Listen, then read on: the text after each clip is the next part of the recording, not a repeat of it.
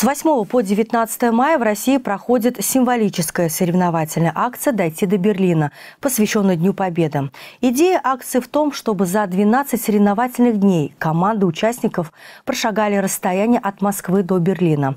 Для участия необходимо бесплатно скачать и зарегистрироваться в приложении «Человек идущий», создать свою команду 20-100 человек или присоединиться к уже существующей команде, присоединиться к акции в приложении. Еженедельно Еженедельно по субботам в 9 часов утра волонтеры здорового образа жизни проводят в Ельниковской роще пешеходные прогулки по маршруту здоровья для жителей города. Следующая прогулка состоится 15 мая. Сбор в 9.00 у входа в рощу возле Центра развития творчества детей и юношества. Присоединяйтесь.